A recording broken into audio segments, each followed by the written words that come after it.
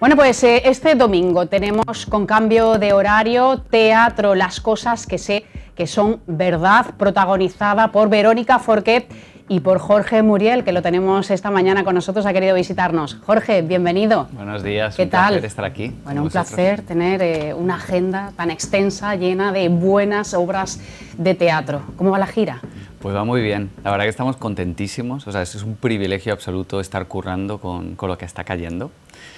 Entonces, viviéndola con flexibilidad, porque es verdad que hay muchos cambios, como el de Marbella, que ha cambiado de día y de Sí. hora, y, pero acomodándonos a eso y viviéndolo realmente como, como el privilegio que es. Tú la interpretas, pero la has traducido, adaptado. Supongo que entonces para ti es un bebé. Sí, sí lo es. Tuvimos la suerte de hacer una obra anterior de este autor, que se llama Cuando deje de llover.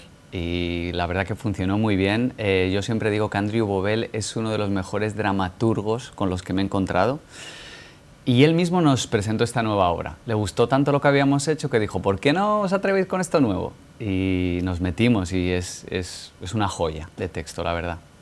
Tú la conociste en Estados Unidos, Sí. estuviste con una beca Ujú. y allí descubriste su universo.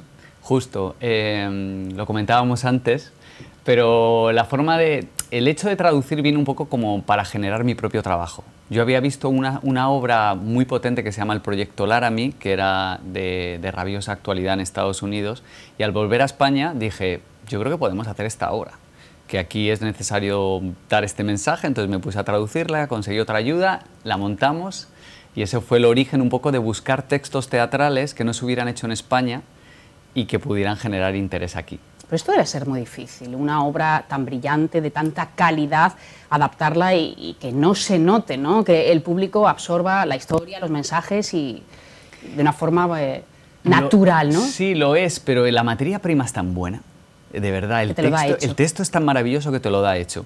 Creo que como da- adaptador o traductor tienes que ser muy fiel al texto, pero al mismo tiempo, como tú bien dices, conocer la cultura donde lo vas a representar. Y yo creo que, que el público se tiene que identificar con lo que va a ver. Pero este texto es tan universal, aunque sea una familia australiana con cuatro hijos, y está tan bien escrita que, que si te paras va a, la- a lo esencial. Y creo que en lo esencial nos encontramos todos.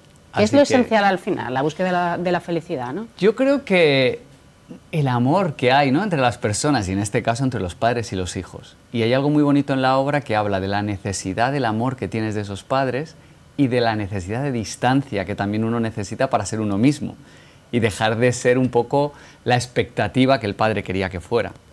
Entonces eso es muy, pues yo creo que nos identificamos todos, ¿no? En cualquier país del mundo. Sí, esto se repite. Se repite. Y la historia además lo trata muy bien porque hay cuatro hijos y cada uno de ellos trae además una temática diferente. También va muy actual. Entonces creo que es muy hermoso porque o, te identificas con uno o con otro, con los padres o con los hijos. Y sí- ¿Algunos cambios de algo que fuera muy genuino de, de Estados Unidos? No, ninguno. ¿No? En realidad hemos intentado sobre todo, en esta obra, en otras hay que hacer más trabajo, pero aquí ha sido quitar un poco exceso de nombres, a lo mejor anglosajones, aunque hemos mantenido que ocurre en Australia. Aunque yo la encontré en Estados Unidos, la obra ocurre en Australia, en un pueblo de Australia, y hemos dejado ciertas ciudades, los nombres en inglés de los personajes, pero Esto a veces choca, ¿eh? sí, sí. A veces sí. chirría un poco, queda, Total. queda raro. Sí, hay algo como que el, que el público tiene que aceptar el código. Sí. Y luego además Verónica, que, que la adoramos, pero mete muchas cosas de chascarrillos españoles que yo creo que ayudan muy, que se agradecen. Entonces hay esa convención de aunque nos llamemos Matt, Ben, Pete, pero vamos a hablar Luego de te lo de crees de la misma campera, manera, de- ¿no? Verónica Forqué consiguió un Max, Sí. entre otros premios, por esta obra. por esta obra. Hace un trabajo estupendo. Además, le mete su maravilloso buen hacer. Además, este toque de comedia que tiene, que creo que funciona muy bien. Incluso el autor australiano vino a verla y siempre me había dicho, esta obra tiene que tener comedia. Dice, y me cuesta en otros países. Dice, pero aquí en España lo habéis conseguido. Bueno, en ella es muy y con ella, imagínate. Todo sucede en un año, Todo en el cambio de las estaciones. De forma metafórica, Sí. pero sí, ocurre como en un año y cada, cada hijo es como una estación. Pero no deja de ser eso, una metáfora del tiempo. Por algo que no puedo revelar, pero al final lo que dice es que la vida sigue, que son ciclos y que una estación lleva a la otra. Pero sí, supuestamente ocurre en un año, pero tiene bastante de metáfora. ¿Nos va a remover mucho? ¿Nos va a hacer pensar? Sí, yo creo que sí, pero de forma buena y más que y más en los tiempos que estamos viviendo. Sí remueve, porque es muy hermosa, es muy humana. Eh, entonces creo que puede emocionar mucho, y, pero también te ríes y te hace pensar, como tú dices, y creo que es precioso. Poder Esta obra eh, se estrenó en 2016. ¿Cuándo la comenzasteis vosotros a girar? Nosotros eh, la estrenamos eh, las navidades pasadas. Es verdad que se estrenó en el 2016 en Londres, creo que fue el primer estreno, luego se hizo en Australia, luego en Estados Unidos y en España lo hicimos el año pasado.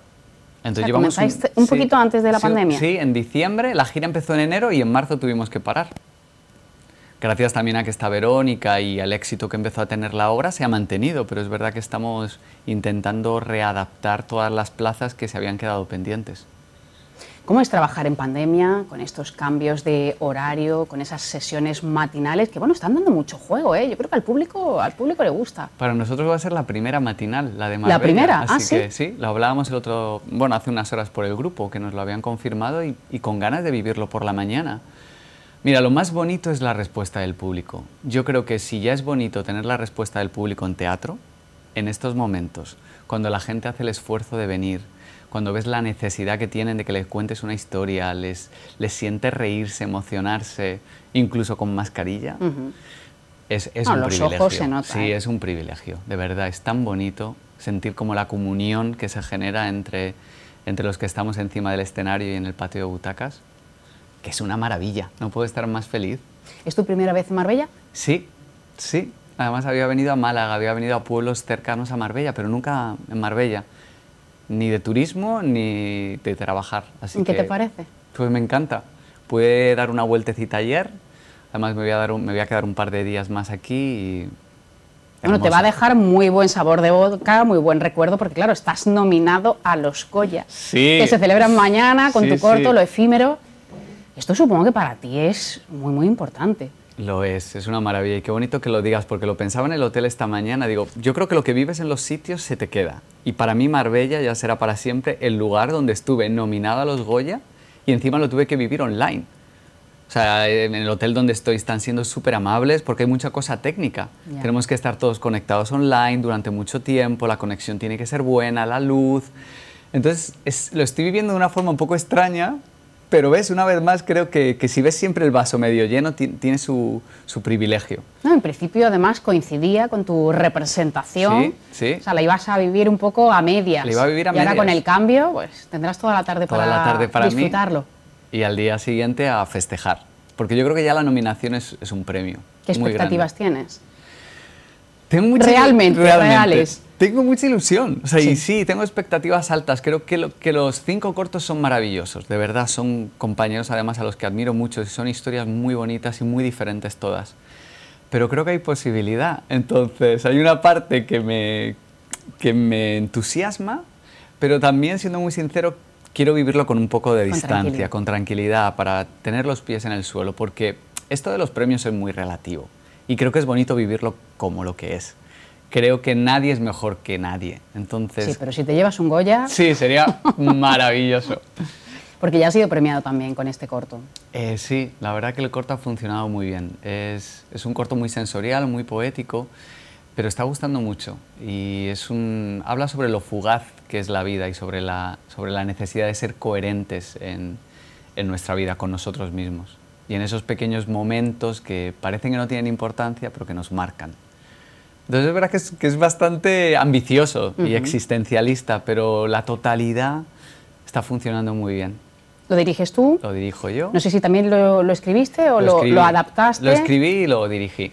Al final lo tuyo es hacer el proceso entero, ¿no? Sí, o sea, me he dado cuenta que creo que también porque la industria en España es, es difícil dentro del mundo ¿no? de, de la cultura, entonces creo que hay que generar, creo que hay que proponer uno más que estar esperando a que te propongan. Y desde esa sinergia salen cosas personales que satisfacen mucho. Mm. Bueno, pues ojalá que te lo lleves. Sería un- Muchísimas una gracias. gran noticia. Y háblanos de tu papel en la obra de este domingo. Quiero revelar poco, Un poquito, una pincelada.